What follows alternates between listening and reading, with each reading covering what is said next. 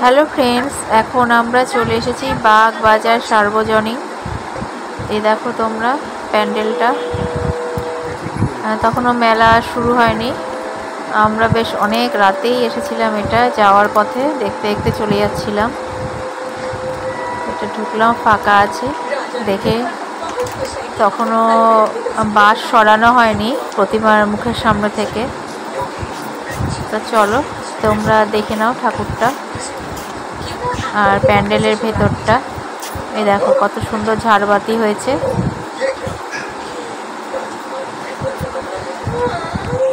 বন্ধুরা, তোমরা আরও এরকম অনেক ঠাকুর দেখতে আমাকে ফলো করো আর আমার চ্যানেলটা সাবস্ক্রাইব করো। আর যদি ভিডিও ভালো লাগে লাইক কমেন্ট শেয়ার করো। এরপরে নেক্সট পুজো প্যান্ডেলে চলো।